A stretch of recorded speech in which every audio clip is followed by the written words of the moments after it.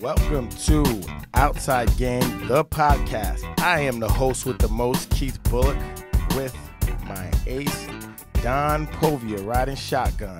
Mr. Monday Night with the multiple nicknames. You just give them to yourself, though, don't you? Yeah, of course. That's how it goes. yeah, I have another one, Casey Starbuck. Casey Starbuck, Mr. Monday Night, the host with the most. I mean, I just I feel like I got to do something out the gate. You know, the podcast. You finally got me on the mic, so got to do it right. Did you ever talk to Drew Brees about that nickname? Um, I haven't, but um, you know what? Uh, friends of mine that have met Drew Brees has actually uh, brought it up before. Um, a good friend of mine in Tennessee, um, that's in the group Little Big Town, I guess. Um, Phillip, uh, well, Phillip Sweet. I wasn't gonna say his name, but um, I was gonna say Drew, and, and they were at a, you know, I guess an event together, and um, he brought my name up. Phillip did, and Drew was like, "Yeah, I remember that guy." Remember that guy? Remember that game? Yeah, it was a good night that night. So you, you've come a long way from your playing career, but here we are. So what are we doing here?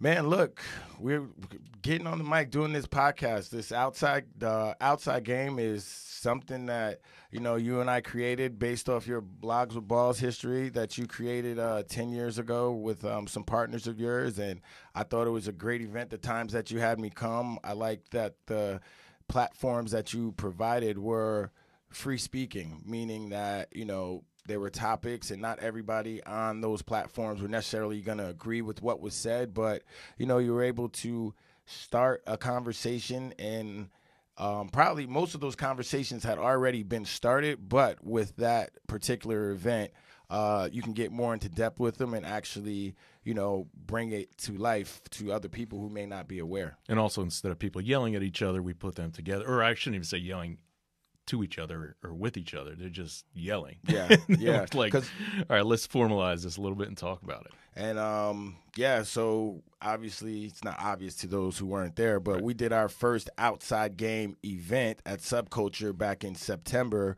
um, where we had five different, four or five different panels um, with some great panelists, some great topics, and it's on our website, so you guys can go check that out if you'd like. But um, yeah, moving forward, we're gonna keep this ball rolling with our podcast to keep doing more of the same things, getting interesting guests to tell about their journey, as well as sometimes it'll just be you and I on here to just talk about things that, you know, are being spoke about, but not really being spoke about in depth. And we, we were trying to be blunt too when we did that event, when we were coming up with topics that we wanted to talk about and panels and stuff. It's not your typical sports business or sports marketing or sports this. It was more like, let's just be frank. What are we talking about when we're having a beer? What are we talking about at the wa- water cooler? So, uh, Pac Man Jones came and talked about his journey, right? People have an assumption of, of who he is and what he is. Well, let's let him have a forum to kind of talk about that and maybe help somebody. Robin Lehner talking about mental health. We had a number of female uh, executives, athletes talking about the struggles that they go through. Um, yeah, it was uh, Jonathan, Jonathan Casillas Casillas. Yeah, hopefully- came in and shed some light on the whole CBD industry as well as uh, cannabis in general. You know, him being having multiple, you know, injuries and playing on Super Bowl teams, winning Super Bowl championships. Um, I can't relate to the Super Bowl championships, um, but yeah, some. In, I definitely had um, a couple injuries uh, during that, during my career that I'm sure CBD probably could have helped.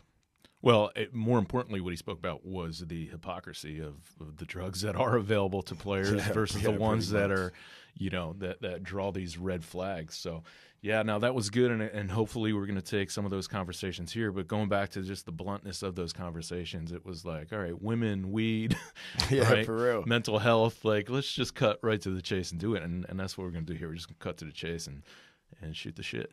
Yeah, man. So, you know, to give you guys, give you listeners a background of how we came together, um, if you're not familiar, I played in the National Football League for 11 years, uh, three time All Pro with the Tennessee Titans. In my last year, I spent with the New York Giants. Um, and, you know, I had come to meet Don through one of my best friends who was in the marketing business. I believe, what did you, you were we working at the time?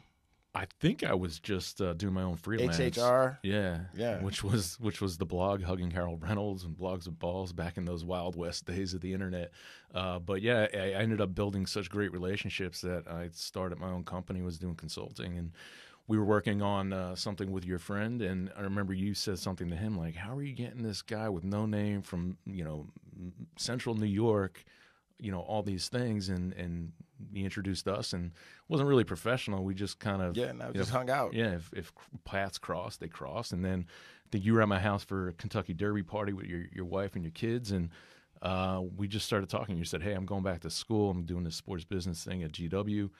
And uh, let's talk about maybe doing something together professionally. And we did.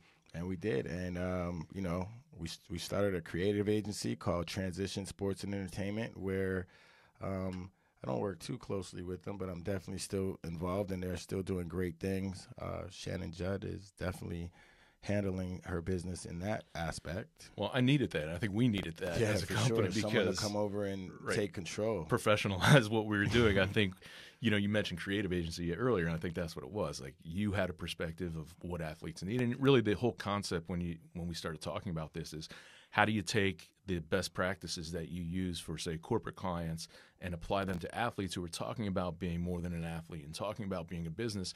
But a guy like yourself that played 11 years in the league, you're going back to school when you're 30 some years old without a resume, without any sort of Yeah. background other than playing a sport, which is great. But how do you leverage that opportunity that you had into something that's more sustainable for the rest of your career, or Yeah. for the rest of your life? Yeah, and for me, man, like as a player, and most players, I, I can only speak for myself, but I always knew that I expanded more than just being an athlete. I was a foster kid, so when I started playing football, it was for the love of the game. And then in about 16, I was getting looks. I How big were you then? 16. I was probably about six. I was definitely six three at the time, but definitely 170, soaking wet. and um, I remember NC State came. Sound like a wideout. Yeah, I was. I played wideout and free safety and occasional occasional running back. I actually switched to full time running back my junior year. I was an all state running back actually. But um yeah, NC State came. I saw that I can get a scholarship. I was gonna age out of foster care at um 18. I was 16 at the time, so you know, I didn't necessarily have the best grades then, and it was back in the day when you had the moving scale. So I had to really work my ass off to kind of get some Moving scale for uh, athletes. for moving scale. What I mean by moving scale was, um, in order to be eligible to get a scholarship, you ha- it was based on your GPA. So if you had a 2.1 GPA, you would have to have like a like higher SAT. higher SAT score. So that's that's what I say a moving scale. So I was able to get my I would have qualified anyway because I got you know about uh, a little under a thousand. That's all I need. I think I only needed like 700. So over, over outkick the coverage. That's you sign your name, you get you get Yeah, your you know. six hundred. so I went, so I went to Syracuse uh, Not a bad school. as a as a strong safety, and lo and behold, I was able to make it to the NFL. you play with a, a handful of guys there that made it to the league. Yeah, man, the first guy that I witnessed like at another level of football was Marvin Harrison. Um, the approach that he took to practice was something obviously that I'd never seen coming out of Rockland County, New York. Um, being the best player, you know, on my team, um, I definitely had no work ethic when I got there. After watching him, and then some of the other guys were there. McNabb was a freshman then. Um, yeah, Freeney came along later. We had Donovin Darius Tebucky Jones. Yeah, we, we were pretty good, man. we, we were pretty good, uh, dominating the Big East. pretty good. Uh, Rest in peace. football squad. Shout out to those Syracuse guys. But yo, you had a a quick football career. You had a flash in the pan at Monmouth. In college, it was quick, but I started playing at five or 6 Mhm. Played three years of flag, two years of midget, two or three years of bantam. Um, high school, I, I wanted to be wide receiver. I knew I couldn't throw, but I had played Pee Wee League quarterback because Right. I, I could take control, I could manage a game. And, you know, I went out for, I wanted to go out for wide receiver. They're like, no, no, try quarterback. And they realized there was another guy that was better than me, which I was like, I tried to tell you that. Perfect. so uh, I remember, so I guess it was freshman year, I got called up to JV, and the varsity head coach saw me playing wide receiver, and was like, "Don't move him back. He's he's going to be a wide receiver." So Right. junior year, I ended up leading the county. I was second in the county by like one catch and receptions. Uh, averaged 21 yards a catch. Wow. Uh, junior year, play both ways. Man, I don't know about you, but these kids, like, we play both ways and specials, like yeah, every day. yeah, for sure. Uh, and then yeah, senior year led the led the conference. Um, Butter, my guy that that you've met before, Yeah. was on the other side. He was number two, and then we had a tight end like top five. So Um, your team any good? uh, middle of the road? I think we had two ties. You, guys, you guys competed. Yeah, it was all right. And uh, yeah, I was getting uh, I was getting a couple looks, mostly like Patriot League stuff. Right. Um, I remember I went to Fordham for for a, a recruit visit. Went to probably about five recruit visits. Ended up the last game, I broke my wrist and ended up with a, a cast on my arm through the spring, so I didn't play baseball. And a lot of them were hesitant to sign me uh, until I can get cleared medically.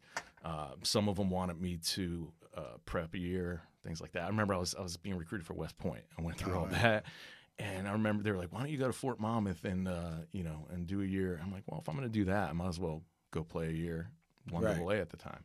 So went through. I was the only wide receiver freshman that ended up making the traveling team. I played in about four or five games, um, but I think I I didn't have the heart. You know, it, it was non-scholarship back then. This is before the uh, Miles Yeah, Austin I, I, days. wouldn't, I wouldn't say. I wouldn't say. Well, go ahead, finish. You know. No, it, it um I, I wasn't going pro. I wasn't getting a scholarship and they were sucking about like ninety percent of my time out. Right. And I said, you know what, let me let me do something that's gonna help me. And I made a hard decision. It wasn't easy. I still have Right. dreams that I have eligibility and then I'm going out and playing and I can't find my helmet and stuff like That that. is the greatest of times. Is that that movie? Yeah. I mean, but no, I appreciate you know, I had played my whole life. Like I said, I played from when I was five, and then I'm 19 years old, and it's you got to Yeah. make a decision. But I was like trying to make a decision for the rest of my life, not just these three years while I'm in school. Yeah, nah, I could dig it, man, because um, we definitely had um, some like I, one of my best friends from um, Rockland. He walked on at Syracuse basketball, and you know I know how much he loved basketball because we played on the same high school basketball team. He's younger than me, but he had to make that tough decision to walk away. And then another one of my friends um, was a walk on. He's very successful now. Shout out to Josh Altman, uh, million dollar listings. Uh, Nice. Real estate guru, the Altman brothers. They're killing it out there. But um, he was a walk on for three years, and then you know his senior year, he was just like almost to what you said. That look, man, I dedicated all this time. I'm not gonna get a shot. He was a kicker, so he was like, man, they ain't gonna let me kick. so um, what's the Should have point? went that route. yeah, but you know what though? At the end of the day, I feel you know playing on a football team at any level. If you play at high school, especially, like it, it builds something in you. You know, a responsibility. Um, you you learn how to work with people. You know that team, that camaraderie thing. And then if you know you play at the next level, which is college, um, then it, it even builds more. You know, you got because you're on that job yeah, together. and it's and it's the responsibility. you're putting that time in, but they're next to you doing the same thing. I mean, waking up. You know, I mean, that Yeah. was when it really hit me. You'd wake up and we would run, Yeah. and then we'd lift, and then we'd go to class, and then we'd have practice, and it was like, the life of a student athlete, yeah, and you're not on scholarship. Right, and right. people always want to talk about, oh, well, you get a scholarship, but they don't know what goes into that scholarship. And another thing about that, shit, man, like, all right, they don't advise you about classes and stuff like that. You know, when I went to school, I didn't know about a major or anything. You know, most guys end up majoring in sociology or the biggest joke is African American studies. like, you know what I'm saying? What are you going to do with that? Any degree that you get um, as a student athlete, unless you went there at, with a plan to be like a doctor or accounting, where I feel a lot of the student athletes these days go with the plan. You know, they're they're a little more educated as far as you know the process of college and you know the perks that you can get if you really you know take advantage of them. But they're not really laid out there for you. Yeah, I heard a great. Uh, I think it was a podcast, and I forget which one, but uh, Domonique Foxworth talking about that, Yeah. where he went to school, and they're basically like, "Well, here's some, Yeah. here's some majors that you can choose from because they basically coincided with the football schedule." Absolutely. I took um my major was psychology and I originally went to school to be a physical therapist. I'm like, yo, I'm gonna I did do too, because I had my surgery on that wrist. And I was like, I can be an occupational therapist. Yo, I was like, I'm gonna do physical therapy. But then I find out you got to take all these math classes and stuff. The science is what Yeah. got me. The math was all right, but then the science classes is like it was the math and then the science because that philosophy class I took my freshman year, I didn't. Yo, I'm still having nightmares. it didn't make sense. The philosophy does not make sense.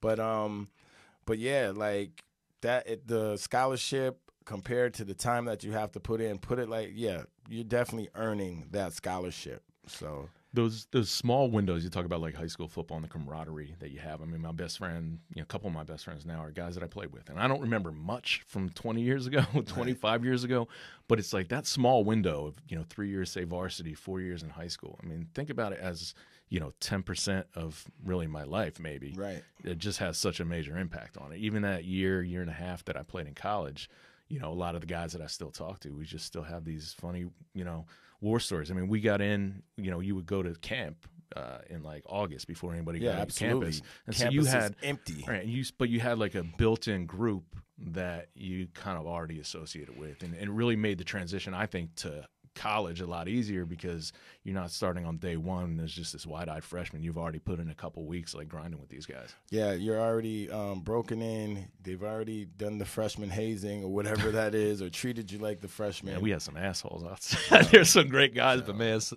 of those guys it. were assholes. What do you think compared about like athletes when during our time to the athlete now? Like what you what you see, like when you hear these kids of like high school and college, and then even watching these some of these pro athletes, man. Like I hate to say they have it easy, but you know, my my school, you know, won uh, won championship, state championship a couple years ago. And I remember talking to the head coach, who I'm still very close with, and I'm saying, "Man, you let these wide receivers wear gloves? Like he didn't let us wear gloves because he didn't want us to have an excuse if we dropped the ball to like to Right. blame it on the gloves." Then I see like Odell making these one hand catches. I try one of these things on at like Dick Sporting Goods or something Oh, like yeah. that. They're like, "How do you drop? I don't know how these guys drop things." It was very easy for me as a wide receiver. You run a crisp route and you catch the ball. Right. Right. I I wasn't the fastest guy. I had a little bit of speed, but I caught the ball if it was thrown near me Right. with no gloves because Right. I wasn't allowed to do it. And then we just talked about it before, playing both ways. They had such a big team. For us, it was like, yeah, we had a big team, but half the guys suck. So you got to do X, Y, and Z. I'm holding for kicks, you know, like Right. backup quarterback type stuff. You know, I'm on the end, like chasing down, you know, chasing down punts. I'm returning punts. But and that's then just what, that's what we out. played for. I, I feel you know I never. I can't imagine doing it any other way. Right. I came. I never came off the field. I, I kicked off. I think I might have came off the field for no. I returned punts. Punt team. I wasn't the punter, so on punt team I got to come off. But shit, I play running back on first and second down. If it's third and long, I go to wide receiver and get the first down, and then go back to running back. So, you know, I definitely um, love the game. Then I just see the evolution of like how these guys are coming on. I get to work at um, with a lot of high school kids now. I do the Nike opening. Well, I don't think it's Nike anymore. I do the opening and the Elite Eleven, which is um, camps that we go all over the country. There's 16. We go to about 16 locations all over the country, and we do a combine where the kids get to run their 40, do their um, do their vert, a bench press, well, a medicine ball throw, and then they get to compete. And we pick the top kids from those camps to come to. Um, it used to be Beaverton, Oregon, when it was Nike. Now we do it at the Star in Dallas.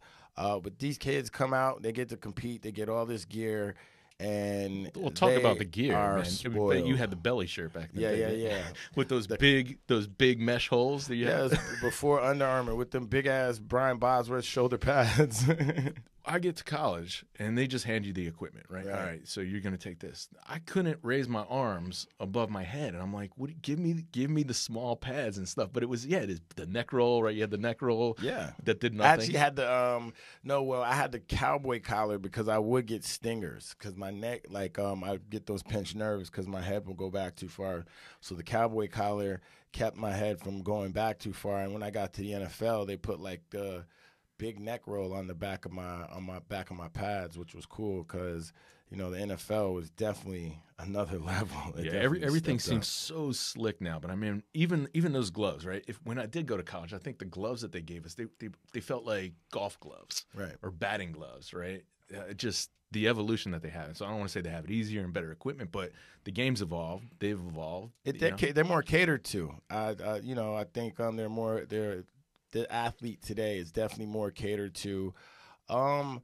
and to be quite honest, I think they're more sensitive because they have to honestly deal with more. You know, they get judged a lot more because of social media. Like I can't imagine, you know, going to playing a game and then somebody's critiquing my game from their couch. Yeah, what about even like locker room? We talk about hazing, right? Locker room hazing, stuff like that. Um, yeah, man, social media and, and the shit that went down in those locker rooms and bullying, man, it was it was bad in retrospect. yeah, like, yeah, nah, like when you, yeah, you're right. So but I guess that, that was to, the time, extent, so we didn't even know really what what was happening. So, yeah, to an extent, that the athlete today is getting saved, but um, they're getting free passes, man. Because I come from, you know, the the era where you just you, you sit down, you shut up, you do your job, and you know, when it's your when your number's called, you be ready to perform. Well, so. feel, I feel like you've had that throughout your your pro career. You know, all the way through, kind of having that mentality. Talking about like I don't want to say pampered or catered, but even Steve Kerr came out uh, pretty recently talking about how he wishes basketball players would play soccer. How do you feel about like the exclusivity of just specializing in one sport? I think it's I think it's terrible. Um, just for the simple fact, you know, playing that's how you develop other skills. You know steve kerr probably makes that reference probably because of hand-eye coordination. You know what i mean? Footwork. You know maybe a lot of these big guys aren't as nimble. Um, starting off playing soccer as a young kid could definitely help. I played uh, football, baseball, and basketball. I wish I would have played lacrosse, but I just couldn't fit it, fit it in um, with all the seasons. But just my even now, um, one of my good friends' kid is t- she's telling me that um, you know their son has to play. He plays on the high school basketball team. In order to play on the high school basketball team, you have to play on the travel team. So when do you get to play any other sports? Like so I, yeah, exactly. So what I tell what, what's happening is these these guys, these men, uh, these leaders of these different leagues have found a way to monopolize off of kids. They're monopolizing off the youth. That's all that they're doing, having all these different practices, telling parents that, yo, if you don't come to this tournament or if you don't uh, play on this team in the spring, when it's not even basketball team, you probably won't make the team in the fall. And like, shit, that's bullying a little bit, man. You know what I'm saying? Quid you're pro quo, I think. Yeah, you're giving, you're giving the, uh, the national uh, vernacular a 12 year, yeah. 12, 13 year old kid an ultimatum. And with my kid, you know, I have a my daughter's 11. She just made the travel AAU volleyball team. So I'm just curious. I'm about to get into this world. Uh, I guess I'm about to see. Um, you know how it how it really works. But I know one thing: I'll take her ass out quick. well, it's even easier today. You know, the reason I ended up playing football. My dad has three brothers and himself. They were all soccer. Three of them were goalies. Right. My mother's side had three brothers. They all played football. Well, two played football, one ran track.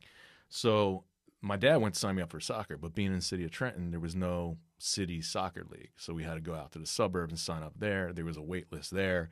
They're like, well, why don't he just play football? So, you know, I don't know how it is now, but even back then, you hear about you know the the access and the ability to play certain sports you know so steve kerr maybe it's not so easy for soccer's probably a little easier now right. but i mean you know inner city trenton i'm look i'm not i'm not some like right, inner right, city like kid per se but yeah i was born i was born in a city and there were limited options you know it was basically baseball and CYO basketball that you got through the Catholic school. Shit, that's what I played: baseball, CYO basketball, and um, Pop Warner football. And I didn't go to the Catholic school. I just would have to go to those religion classes on Saturday. that's what my kids I, do now. that what I would that I would duck out of. Um, but yeah, man, this is gonna be a pretty dope thing that we're doing. Look, we're two guys that have three daughters. Yeah.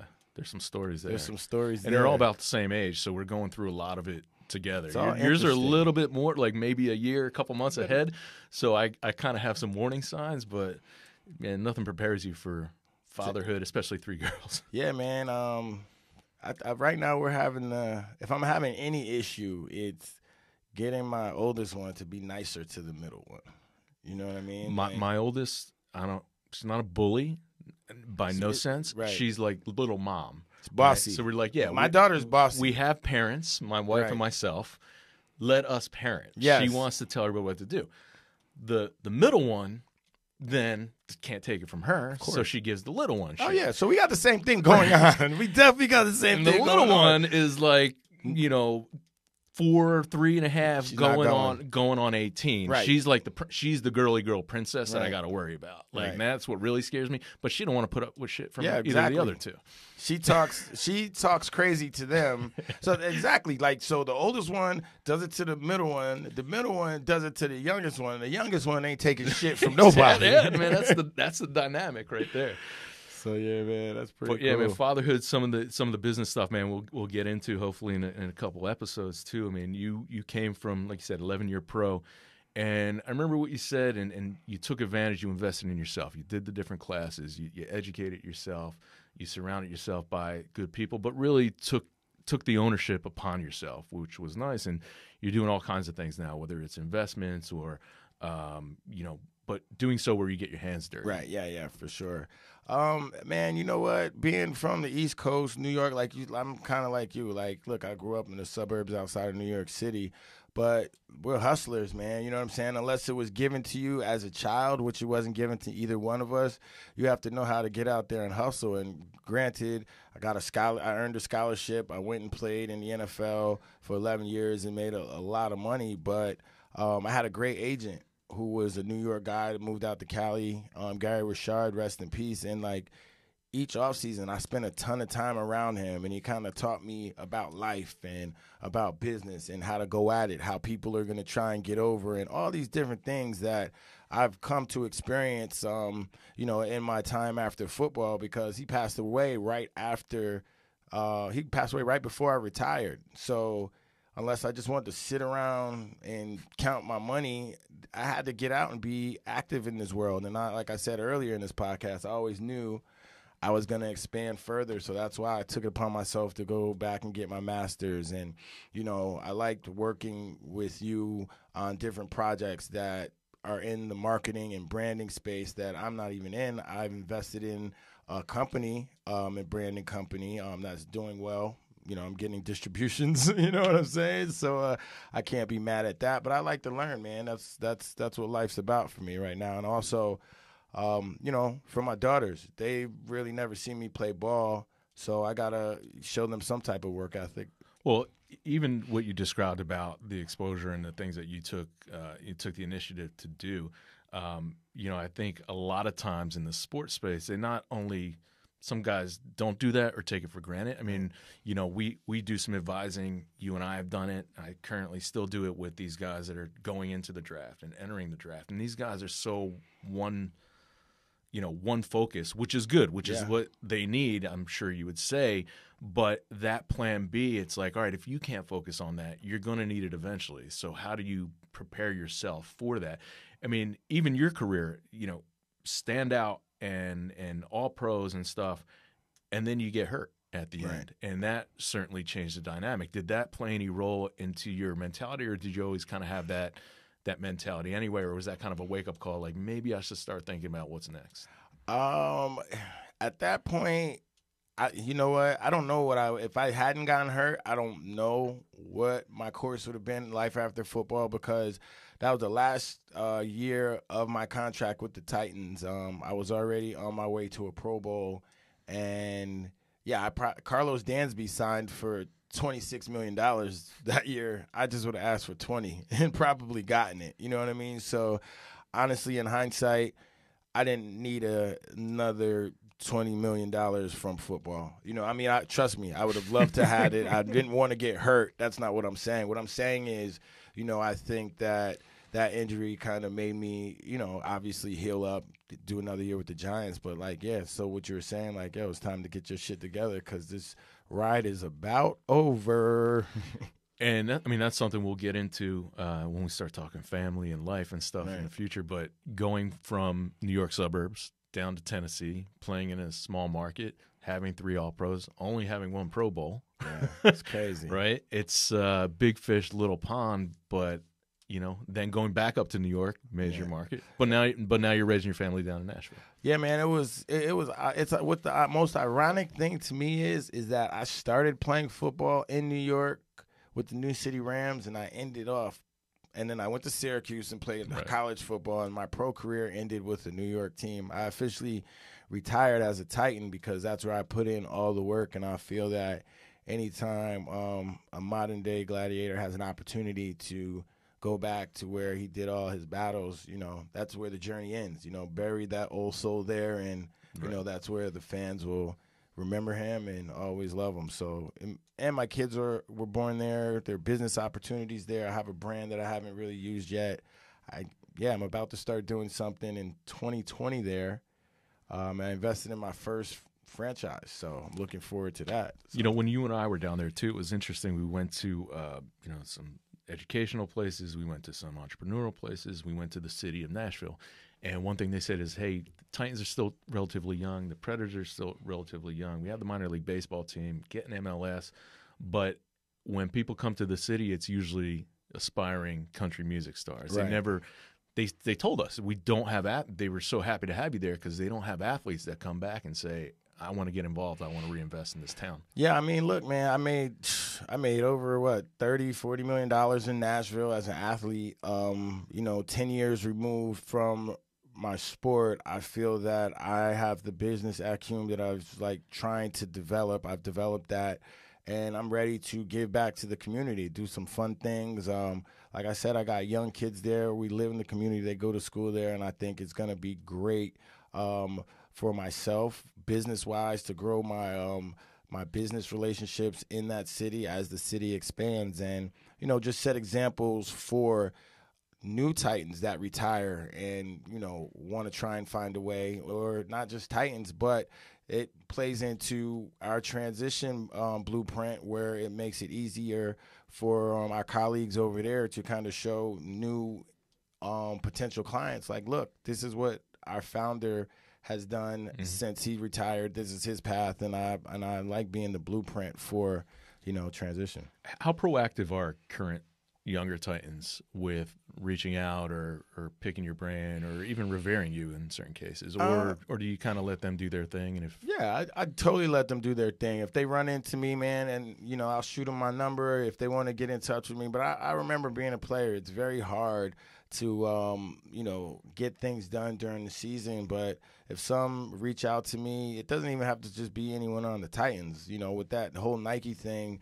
Um, well, you know, the high got a school whole football camp. are- yeah. I've like had guys that I've been around since they were 17 that uh, I saw when they were 17 years old when they were in 11th grade saying if they can just stay on the right path, they'll be first round draft picks. And lo and behold, a lot of them are. So um, even the ones that aren't first rounders that just get into the league and, you know, that's gratifying. They'll be like, oh, Coach Bully, you know, so coach, I rock with it. you did a little internship, right, with Yeah. the Steelers? Pittsburgh. We'll see. I always try, I try and keep those um keep those gates open. And I'm not saying I want to get into coaching this year. I mean, if it was the right opportunity, maybe.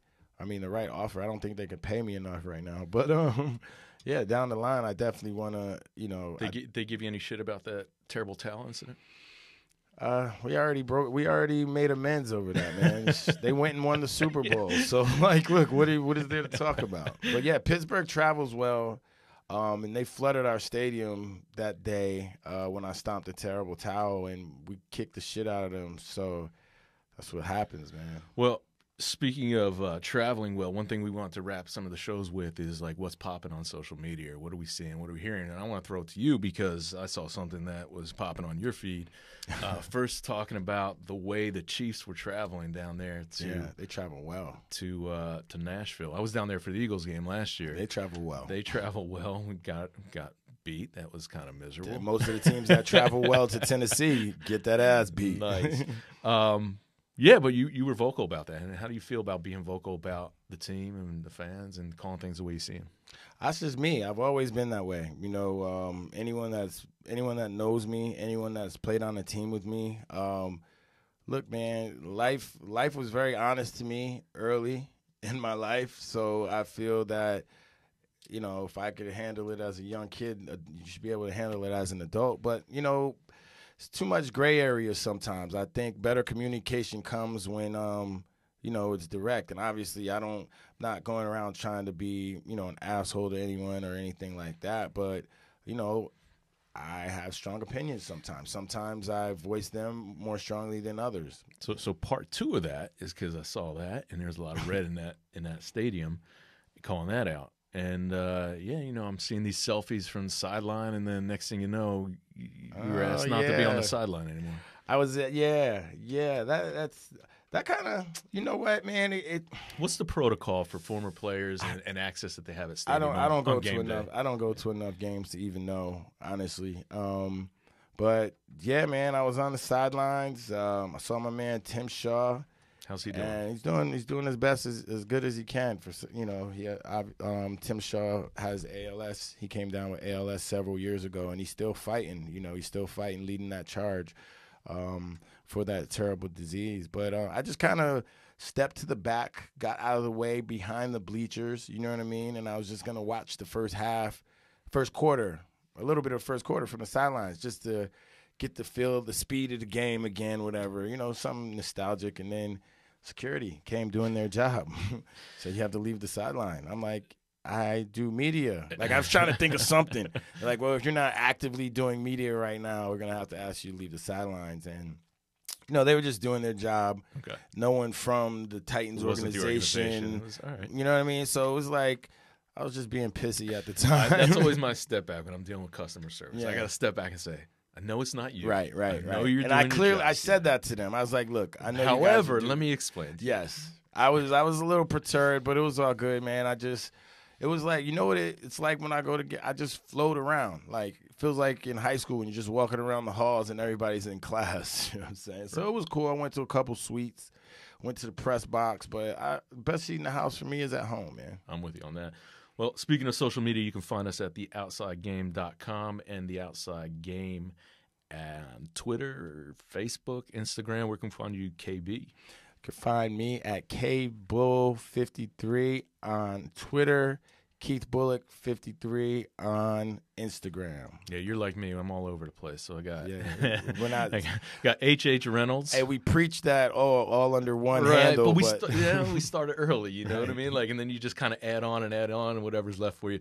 HH Reynolds on Twitter, DPHHR on Instagram, and find us again at the Outside Game. But hope you enjoyed us. Thanks for sticking around this long. We're gonna have guests. We're gonna have some banter. We're gonna talk about I don't know life, sports, bringing you hot fire.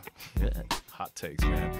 Uh, until next week, till next show. I'm Don Povia. That's Mr. Monday Night Keith Bulluck, and we're out.